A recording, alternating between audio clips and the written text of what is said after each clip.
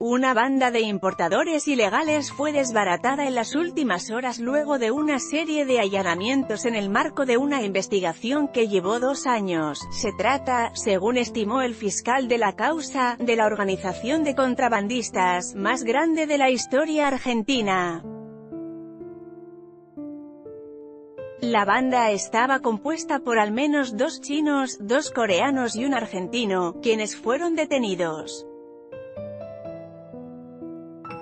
Su trabajo consistía en ingresar mercaderías por la zona franca de Chile, desde donde continuaban su curso hacia Bolivia, e ingresaban a nuestro país a través de la frontera de Orán, en la provincia de Salta, desde donde se distribuía a diferentes puntos del país.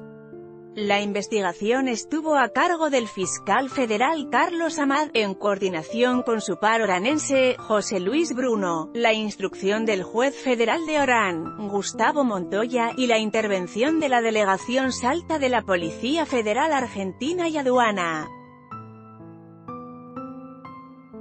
Según reveló el propio Amad al diario La Gaceta de Salta, los aduaneros que intervienen en la causa afirman que no hay antecedentes de un caso de contrabando más grande en la historia local, ya que se estima hasta ahora un movimiento de dinero que ronda los 200 millones de pesos.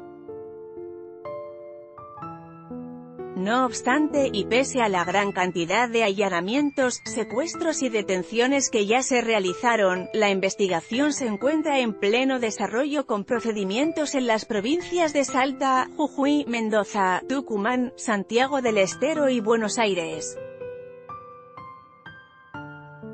El fiscal federal informó además que del total de cinco detenidos hasta ahora, dos son chinos, otros dos coreanos, y un quinto argentino. Los orientales, que no hablan un castellano fluido y claro, tenían de todos modos sus contactos locales. Empezamos investigando una banda que pensamos que iban a traficar droga porque hablaban de focos y hablaban raro, dijo Amad.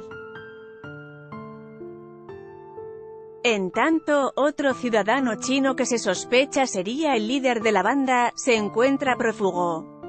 Aunque algunos de sus suntuosos bienes ya le fueron decomisados, entre ellos, 10 vehículos de alta gama.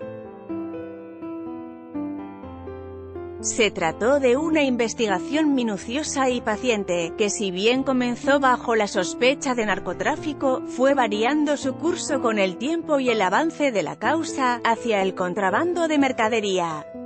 Las escuchas telefónicas fueron claves desde el inicio de la pesquisa.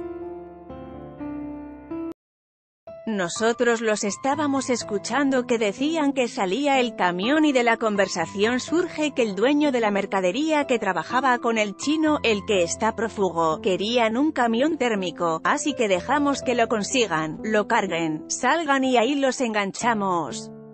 La sorpresa fue mayor cuando, tras detener al camión sospechoso que había salido de un depósito ubicado en Colonia Santa Rosa, en el departamento salteño de Orán, se encontraron con cajones de pomelos, aunque también, bastante compactados, 10 pallets con ropa y electrónica, todo ingresado al país en forma ilegal y valuado en 8 millones de pesos.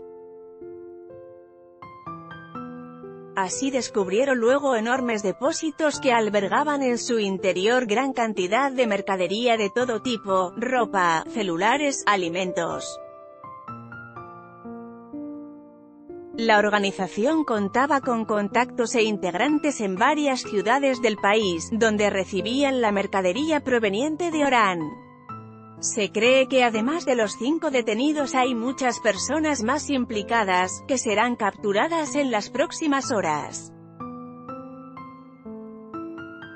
Los días 8 y 9 de julio se fue allanado el domicilio de uno de los coreanos detenidos, ubicada en el exclusivo barrio salteño de la Almudena, y otra casa en Perico, Jujuy, en donde vive con su mujer actual y un bebé.